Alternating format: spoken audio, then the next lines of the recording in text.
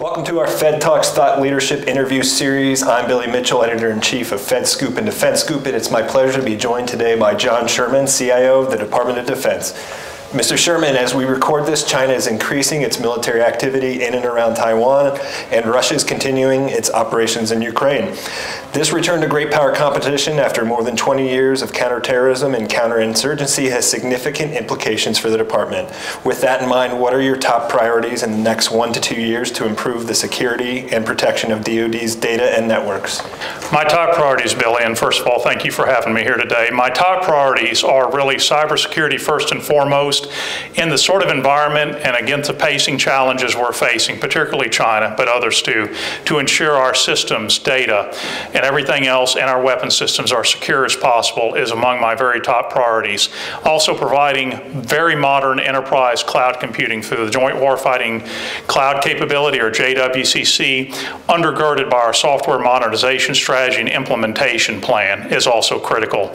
Protecting the defense industrial base is also very critical in this this activity as well, ensuring that our 300,000 companies that support the United States military have the best protection they can. And very importantly, for our command, control, and communications, our C3, whether it's positioning, navigation, and timing, whether it's SATCOM, whether it's electromagnetic spectrum operations, and many other areas that are going to be so important operating in a contested environment, whether it's over the Western Pacific or Central Europe or anywhere else, ensuring we have the very best capabilities capabilities is a top priority for me.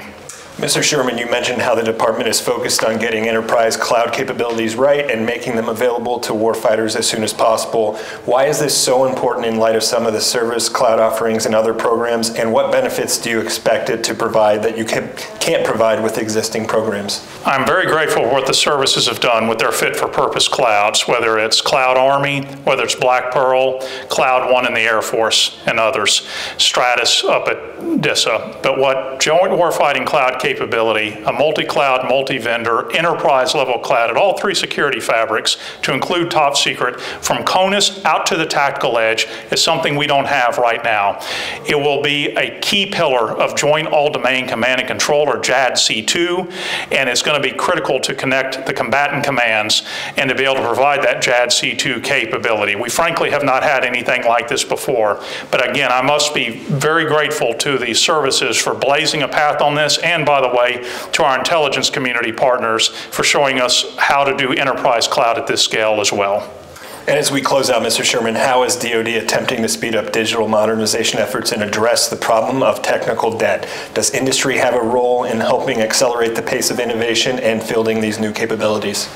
Getting after technical debt means we've been fighting in the desert and mountains for 20 years against insurgents, terrorists, and other violent extremists.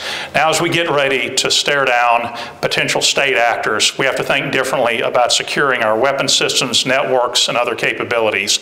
This takes a team of teams effort working with others like Acquisition and Sustainment and DoD, the Joint Staff J6, NSA providing us a threat intelligence, Principal Cyber Advisor, and then also, very importantly, the services that have the program offices overseeing our weapon systems to go system by system if necessary to ensure we're able to make them as cyber safe as possible, not only from kinetic threats, but cyber attacks that could cripple or spoof or harm our weapon system, weapon systems. And industry absolutely has a role in this as we move to areas like zero trust, as we deploy new types of cybersecurity against a very dynamic, potential set of adversaries that are never sitting still in this space. And I'll end with this, that our tech sector is our national advantage to be able to work closely with government and DoD. Mr. Sherman, as always, thank you so much for your time. Thank you, Billy.